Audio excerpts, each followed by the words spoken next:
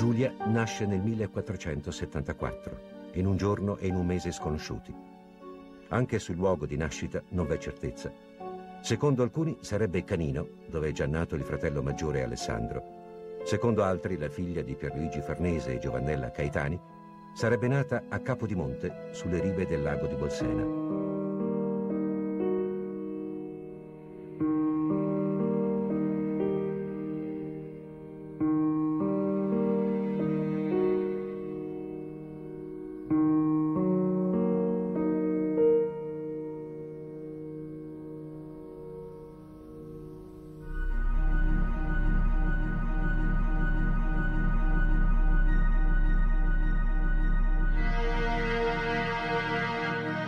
Canino che Capodimonte si trovano nella Tuscia, quella vasta zona che separa Viterbo dalla costa del Mar Tirreno. È qui che i Farnese sono nati e dove ancora oggi esiste un paese che porta il loro nome. Ma chi ha dato il nome a chi? Gli studi più accreditati tendono a dare a questa famiglia origini longobarde.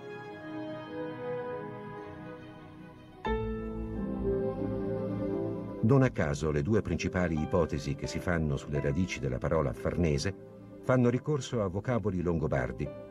Fara, cioè cittadella fortificata, o Farnia, cioè una varietà di quercia tipica di questa zona ad ovest del lago di Bolsena.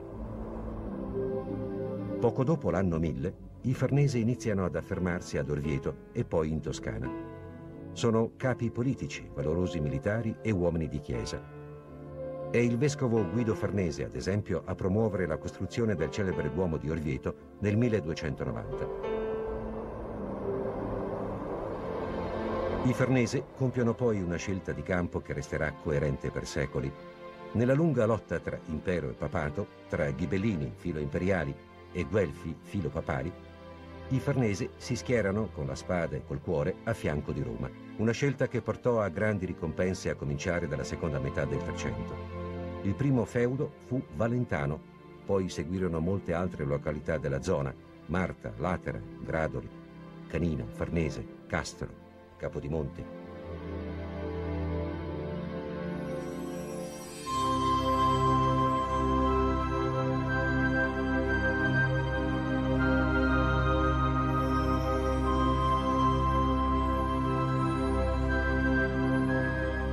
A metà del 400 è Ranuccio III a guidare la famiglia. Sull'isola bisentina, al centro del lago di Bolsena, sorge una chiesa che dovrà ospitare le tombe di tutti i farnesi a cominciare dallo stesso Ranuccio. Uno degli ultimi segreti di Giulia, come vedremo, è proprio legato a questa isola e alle sue tombe.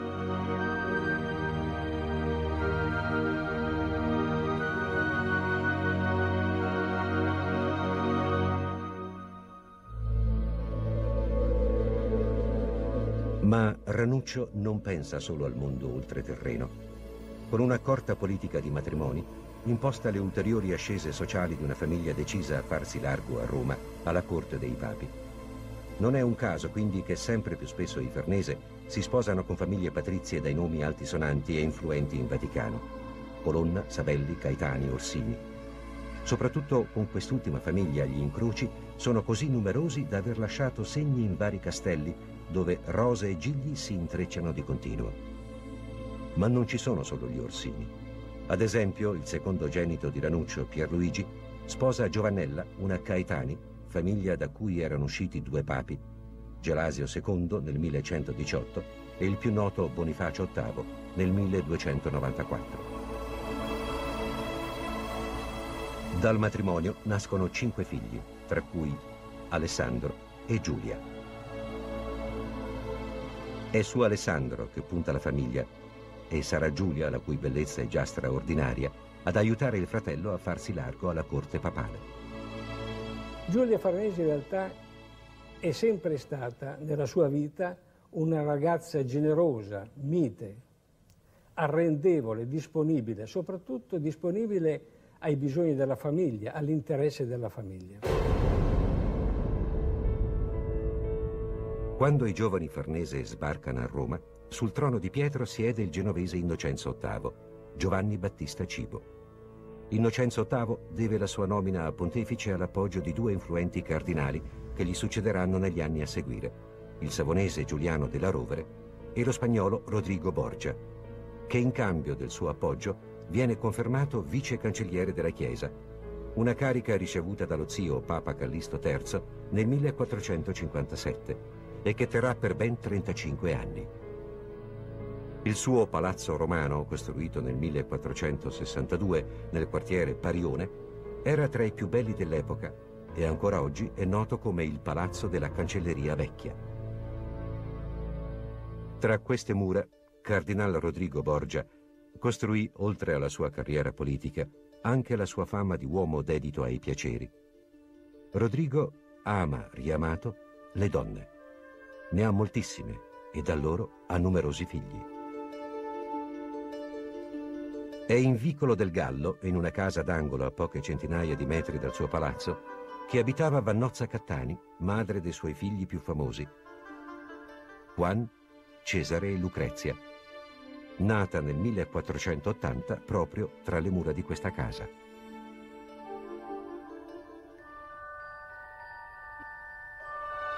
Vannozza Cattani è una delle due donne da sempre associate a Rodrigo Borgia, la seconda fa il suo ingresso nella vita del futuro Papa nella primavera del 1489.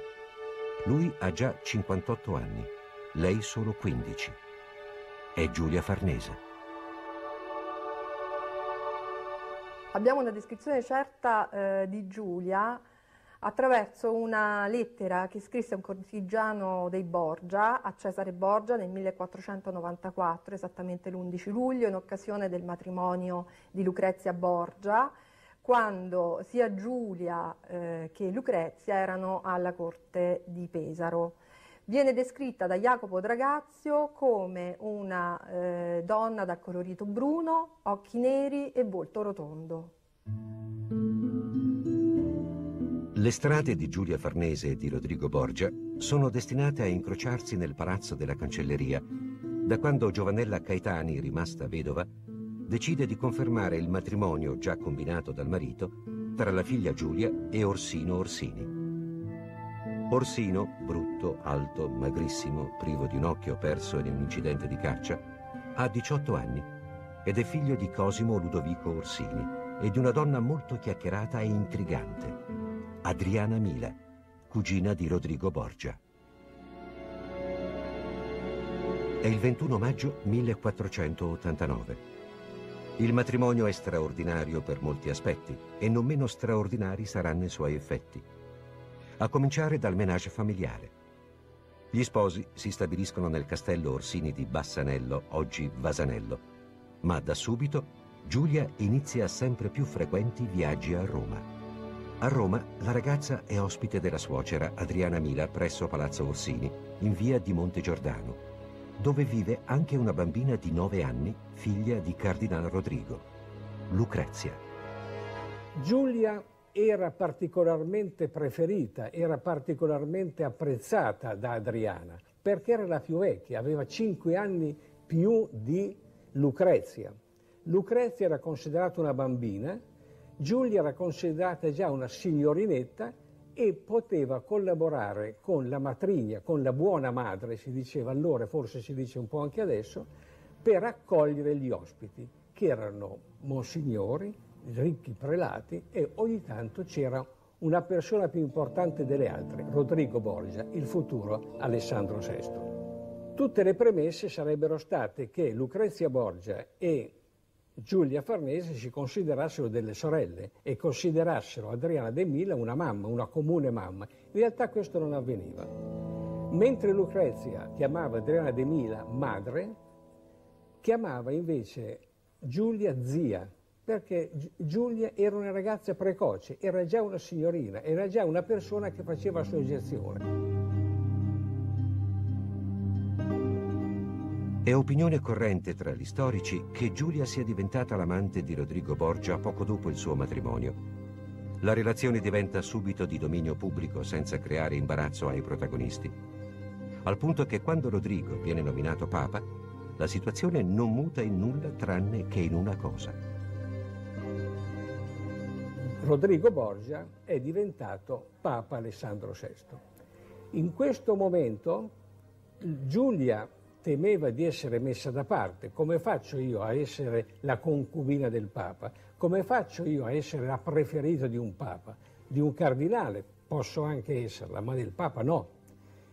A togliere questo imbarazzo è subentrato proprio Alessandro Borgia, che ha preso le persone, le ha tolte dal palazzo Orsini e li ha messe in un nuovo palazzo che era a fianco dell'allora Basilica di San Pietro, dove adesso c'è la sede del Sant'Uffizio, ed era il palazzo di, di Santa Maria in Portico, in quanto era sede, era l'alloggiamento del cardinale di San Zeno in Portico, un cardinale veneziano, che è stato gentilmente preso e fatto accomodare fuori.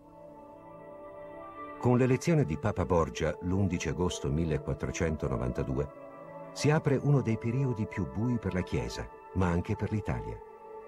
Lorenzo de' Medici, grande arbitro degli equilibri tra gli stati italiani, è morto da pochi mesi, mentre Cristoforo Colombo è già partito da qualche giorno verso quelle che crede le Indie il nuovo Papa decide di non chiamarsi Callisto, come lo zio che l'aveva preceduto e nominato cardinale, ma Alessandro, come Alessandro Magno. Pochi giorni dopo, Ercole d'Este, signore di Ferrara, riceve una lettera dal suo ambasciatore a Milano in cui è detto quello che tutti sanno circa l'elezione di Alessandro VI. Cum simonia et mille ribalderie ed inoneste si è venduto il pontificato, che è cosa ignominosa et detestabile. Salito sul trono di Pietro, Alessandro VI inizia ad onorare i debiti contratti in conclave. Ad esempio, il suo grande lettore, il cardinale Ascanio Sforza, riceve il palazzo della cancelleria. Ci sono poi da accontentare parenti e clienti, figli e amante. È questo il momento in cui Giulia deve farsi avanti per portare a termine la missione che i Farnese le hanno assegnato. E lei fa il suo dovere.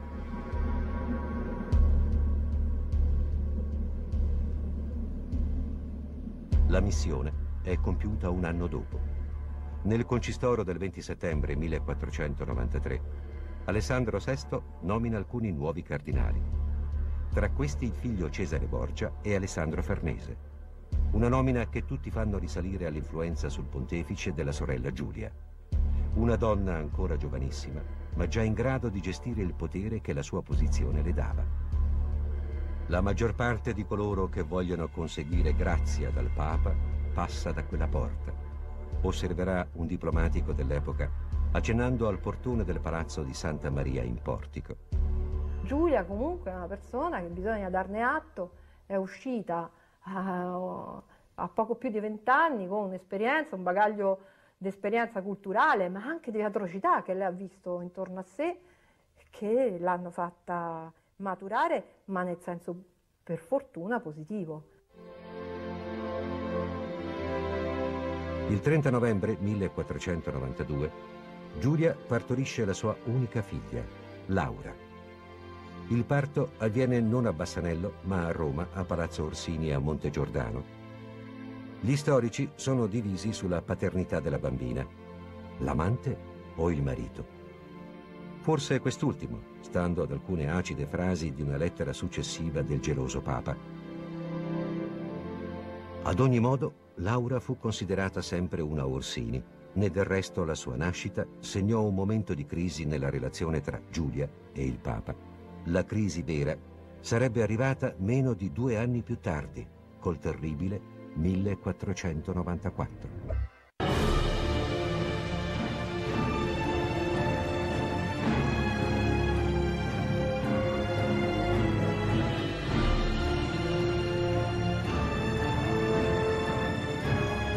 Partito per il suo secondo viaggio con un equipaggio di circa 1200 uomini, tra cui ci sono il figlio Diego e il fratello Giacomo, Cristoforo Colombo il 3 maggio 1494 scopre la Giamaica. Il 6 novembre del 1494 nasce Solimano I, il sultano turco che porterà l'impero ottomano ai massimi fulgori, conquistandosi così il titolo di Magnifico. Per l'Italia il 1494 è un anno molto difficile, è l'inizio delle dominazioni straniere. Il 1494 fu innanzitutto un anno terribile per l'Italia. Lo storico Francesco Guicciardini, che visse in quel periodo, lo definirà anno infelicissimo, primo degli anni miserabili. E non sapeva, mentre scriveva, che l'inizio delle dominazioni straniere sull'Italia sarebbe finita solo oltre quattro secoli più tardi, con la vittoria italiana nella Prima Guerra Mondiale.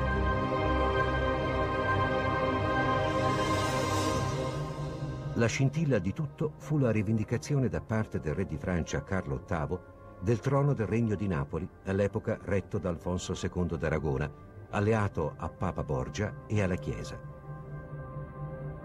Sollecitato da alcuni principi italiani, tra cui Ludovico il Moro, signore di Milano, ed Ercole d'Este, signore di Ferrara, il re di Francia scende in Italia nel settembre 1494, seminando il panico anche a Roma, dove in contrasto con i Borgia lo sostengono alcuni importanti cardinali, come Giuliano della Rovere, futuro Giulio II.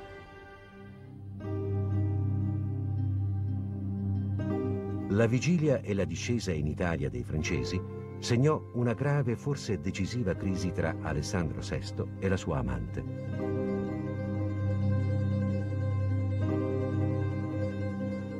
Nel maggio 1494 Giulia, con Adriana Mila, era stata incaricata di accompagnare a Pesaro Lucrezia Borgia e il neomarito Giovanni Sforza, signore di quella città.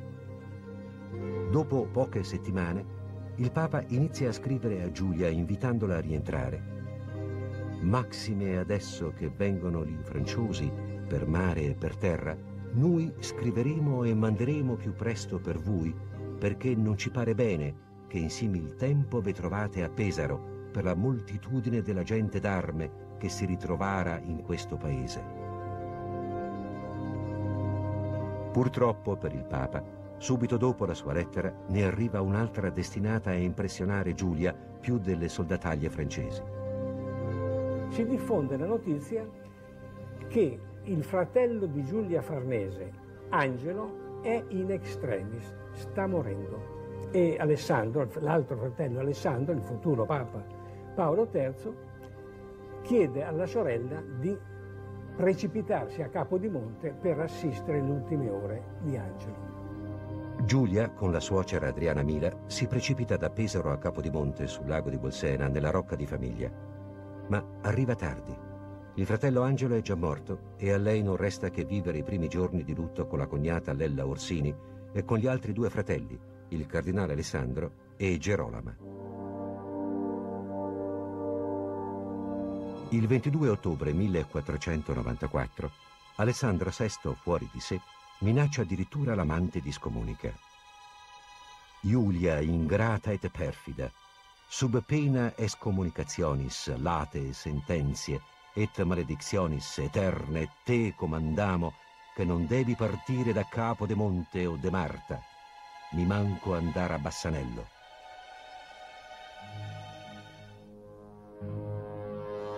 Il braccio di ferro durò fino al novembre 1494, quando Orsino, ottenuti altri privilegi, acconsentì che la moglie non lo raggiungesse a Bassanello, ma si recasse pure a Roma.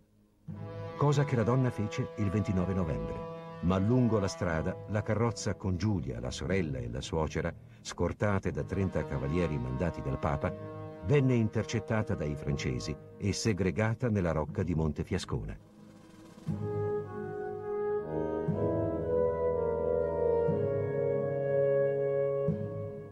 Fra lo scherno generale Alessandro VI cerca di intervenire, di mobilitare la sua diplomazia per far liberare le donne.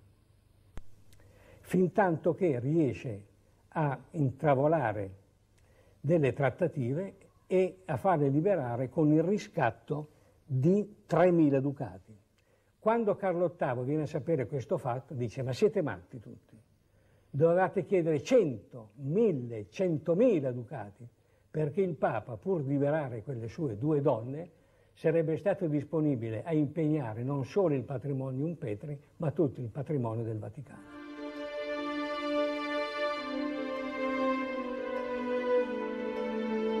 Il primo dicembre, a tarda notte, la carrozza di Giulia entra a Roma da Porta del Popolo ed è accolta trionfalmente in Piazza del Popolo, all'epoca più stretta di quella attuale, dal Papa in persona.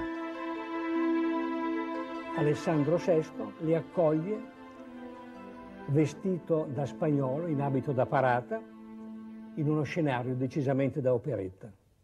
La prima notte, narrano le cronache, Giulia è ospitata nel palazzo papale.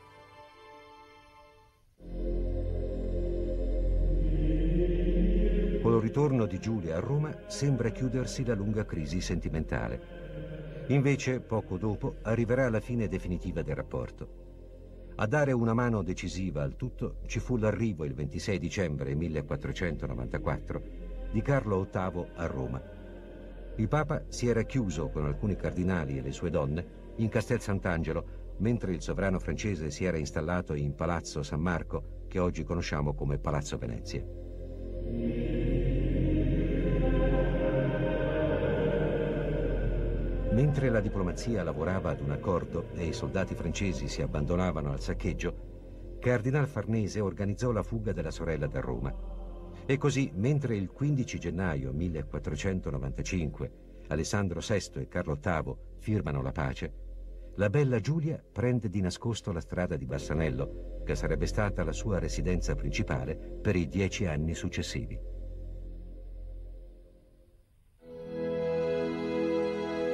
Nel gennaio 1495 finisce probabilmente così il rapporto tra il Papa e Giulia dopo quasi sei anni. E Giulia può così iniziare una fase nuova della sua vita, col marito e con la figlia Laura nel castello di Bassanello. Nei 20 anni di vita che le restano, Giulia conduce una vita abbastanza ritirata, prima nel castello di Bassanello, poi in quello poco distante di Carbognano, un feudo che Alessandro VI aveva concesso a Orsino Orsini in cambio della sua acquiescenza.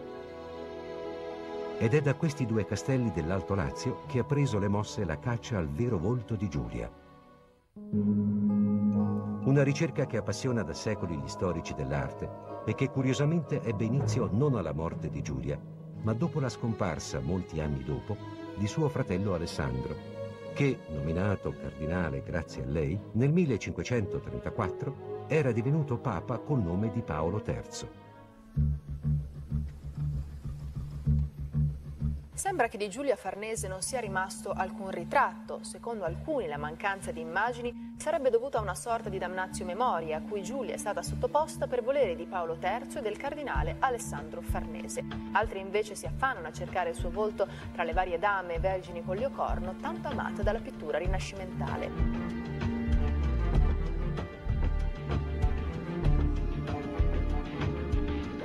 In questo labirinto di simboli e volti è difficile riconoscere quello di Giulia Farnese. È possibile solo fare delle ipotesi. Forse la donna inginocchiata nella trasfigurazione di Raffaello, o forse la Madonna nella piccola chiesa di Santa Maria della Valle, vicino a Carbognano, nel Viterbese, o forse è la donna con fascio littorio, allegoria della giustizia, sdraiata ai piedi della statua di Paolo III nel monumento funebre di quest'ultimo, inaugurato in Vaticano nel 1575.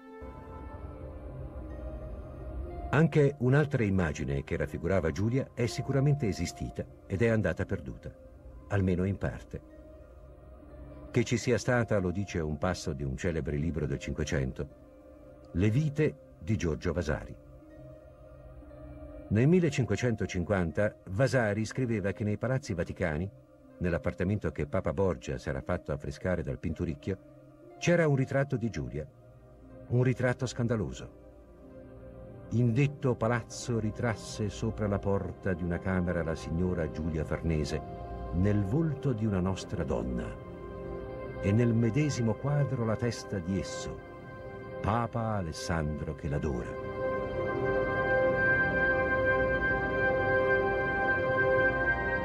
Oggi quel ritratto non c'è negli appartamenti Borgia in Vaticano e questo ha indotto molti a sostenere che Vasari si sia sbagliato, magari tratto in inganno da qualcuno che voleva mettere in cattiva luce i Borgia e i Farnese. Ma altri prima di lui, tra cui il famoso scrittore francese Rabelais, ne avevano parlato. E del resto, una copia di quel dipinto è stata fatta molto tempo dopo. in questi anni, questi ultimi tempi, nel mercato antiquario è apparso proprio questo frammento di affresco del Pinturicchio rappresentante il cosiddetto Bambin Gesù delle mani perché è il frammento dell'affresco scandaloso di Giulia Farnese, dove evidentemente questo bambino ha le sue mani, le due mani della Madonna che lo accarezzano e il piedino destro è posto sulla mano di Alessandro VI Borgia. Il frammento dell'opera di Pinturicchio è stato riscoperto e valorizzato dallo storico dell'arte Franco Nucciarelli e la mostra che è stata allestita a Roma a Palazzo Venezia ha rivelato come doveva presentarsi l'affresco scandaloso di cui la parte più interessante, cioè la parte che raffigurerebbe Giulia nei panni della Madonna, sarebbe custodita tutt'oggi in una collezione privata.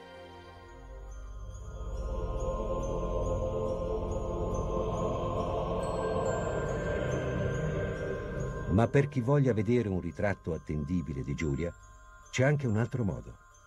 Basta recarsi in una delle più antiche chiese di Roma, la Basilica di Santa Pudenziana, e aguzzare la vista.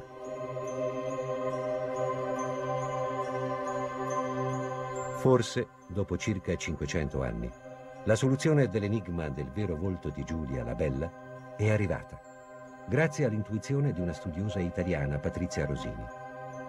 L'eccezionale scoperta di come questa antica chiesa romanica si colleghi alle vicende scandalose di Giulia Farnese dimostra come i fili della storia sappiano intrecciarsi in modo sorprendente e che per dipanarli non bisogna necessariamente cominciare dal principio. Intorno al 1580 il cardinale titolare di questa chiesa era il cardinal Enrico Caetani, bisnipote di Giovannella Caetani, madre di Giulia e di Alessandro Farnese.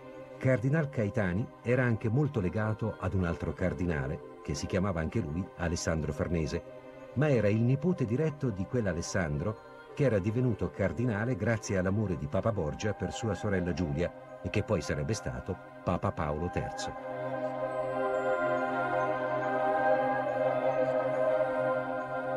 Nel 1584 Enrico Caetani ordina il restauro del grande mosaico absidale di Santa Pudenziana, che risale al IV secolo d.C., danneggiato soprattutto nella parte destra.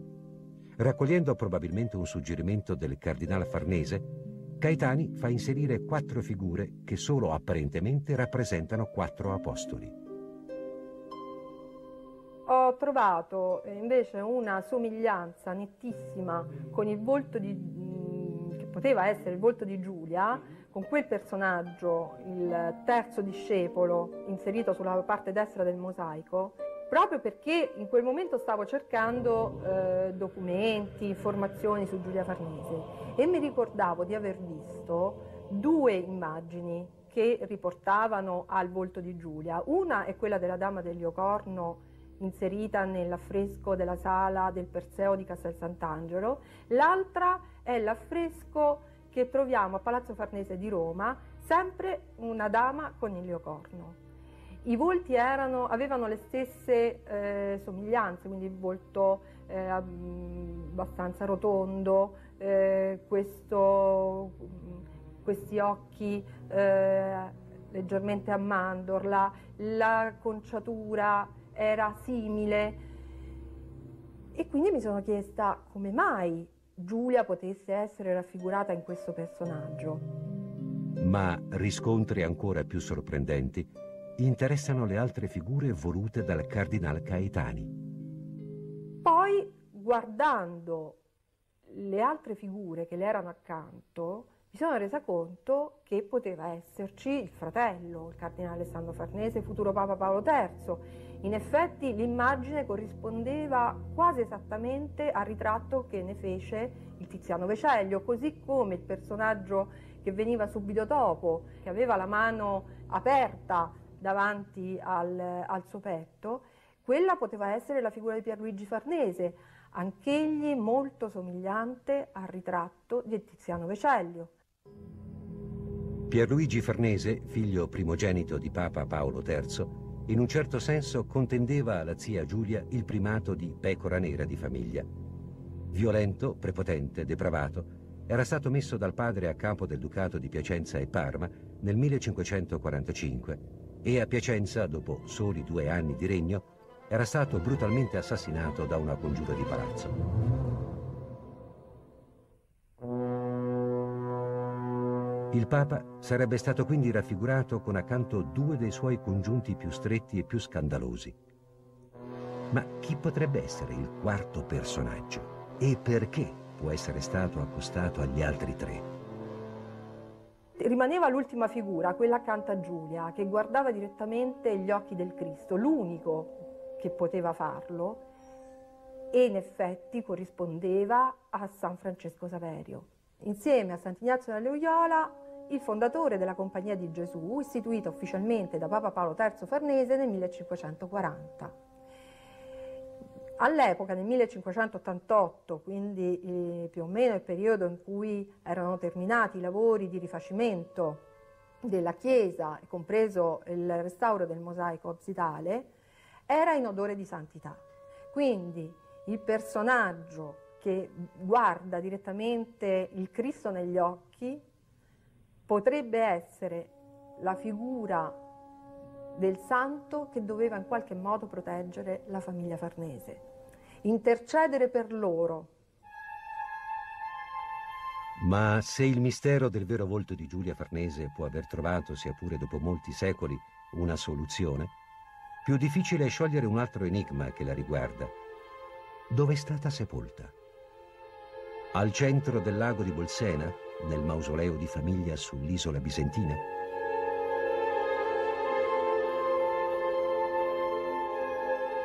O nel centro di Roma, a pochi passi dal suo scandaloso amante? La morte colse Giulia a soli 50 anni, buona parte dei quali passati in modo molto differente da come avrebbe potuto far pensare il suo giovanile soggiorno alla corte dei Borgia. Fuggita da Roma nel 1495, era tornata a Bassanello da suo marito. La vita tra le mura del castello s'era fatta di colpo serena e così sarebbe continuata a lungo se un incidente che fece molto discutere non avesse portato all'improvvisa morte di Orsino, suo marito. Nell'estate del 1500, infatti, in piena notte, il soffitto della camera del castello dove il gentiluomo dormiva crollò uccidendo il solo Orsino.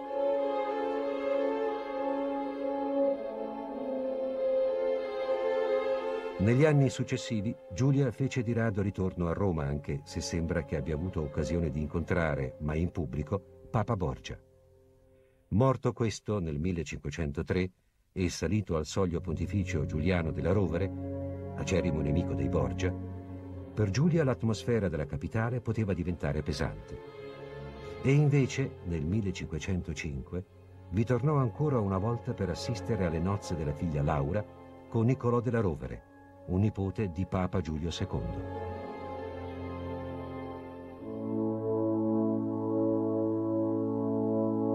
A conferma di una certa indipendenza acquisita col tempo, si sposò nel 1509 con un nobile napoletano che era stato a lungo alla corte dei Borgia, Giovanni Capece, con cui andò a vivere in un feudo che il Borgia aveva donato al suo primo marito, Carbognano. È negli anni passati a Carbognano che, secondo molti, viene fuori la vera Giulia, non solo attenta amministratrice del suo feudo, ma anche donna decisa a vivere una vita diversa. Dimostrò di avere un'intelligenza, una bontà d'animo e in qualche modo si riscattò anche. La grande chiesa di Santa Maria della Concezione, voluta nel 1522 da Giulia, simboleggia in qualche modo il nuovo stile di vita della donna, sicuramente più devota e pia ora di quando frequentava la corte papale.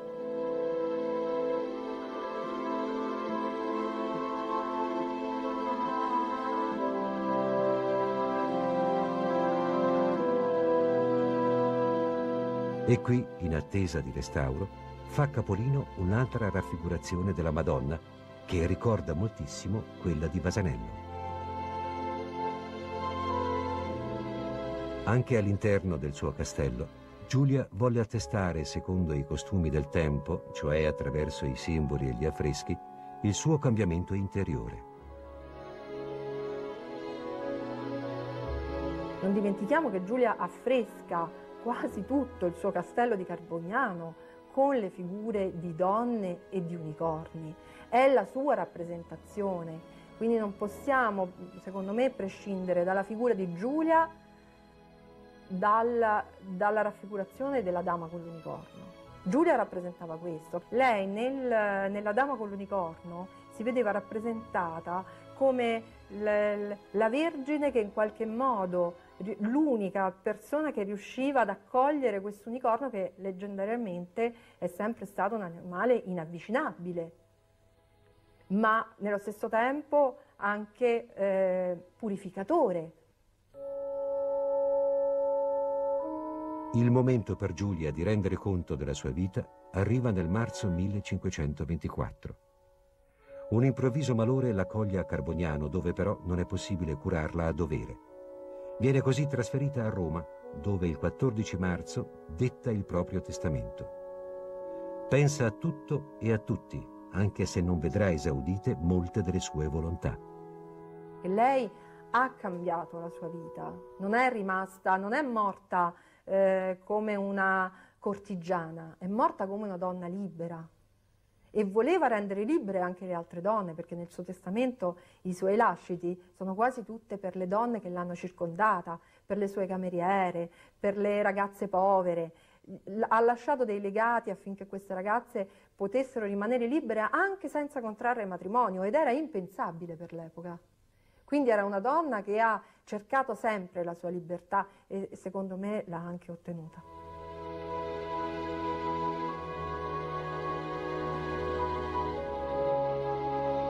Sembra che molte delle somme elargite in punto di morte da Giulia non raggiunsero mai i destinatari.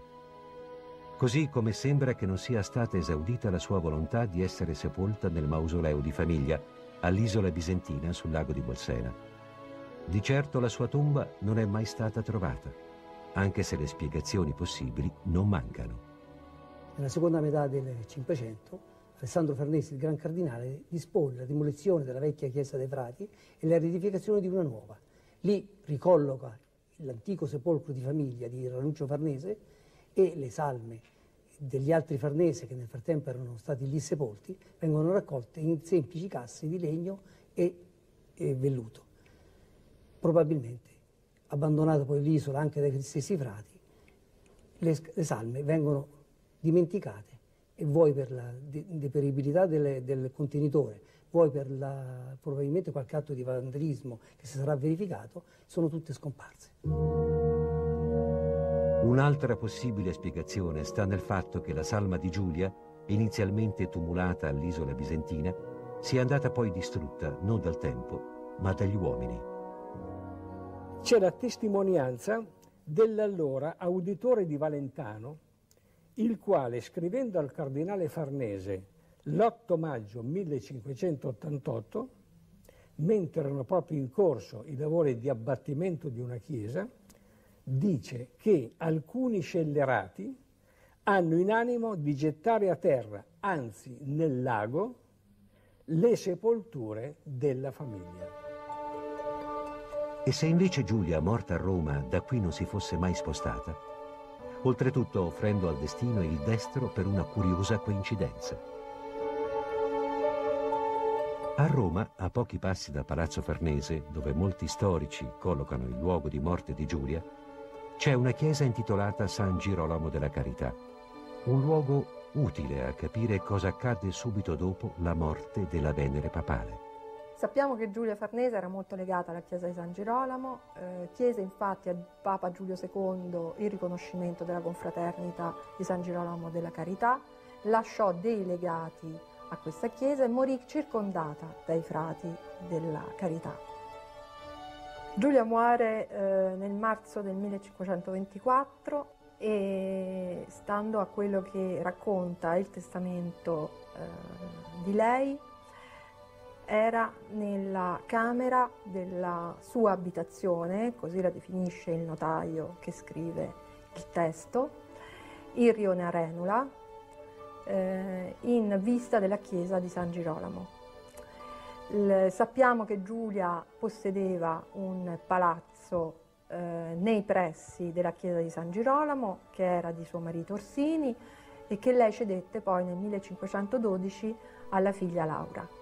Quindi io credo che è da escludere che Giulia morì a Palazzo Farnese nella residenza del fratello Alessandro. È quindi molto probabile che Giulia eh, potesse essere sepolta nella chiesa di San Girolamo e non portata all'isola bisentina, anche perché dobbiamo considerare che in quell'epoca imperversava la peste a Roma e uscire da Roma e fare molti chilometri in una situazione particolare era molto rischioso. Quindi io credo che eh, è possibile che Giulia sia stata sepolta nella chiesa che lei comunque tanto amava. All'indomani della morte, l'ambasciatore di Venezia comunicò il fatto al doge. La sorella del cardinal farnese Madonna Giulia, un tempo amante di Papa Alessandro VI, è morta. Trent'anni dopo la sua fuga da Roma e dalla corte di Papa Borgia, la figura di Giulia era ancora segnata da quella relazione scandalosa.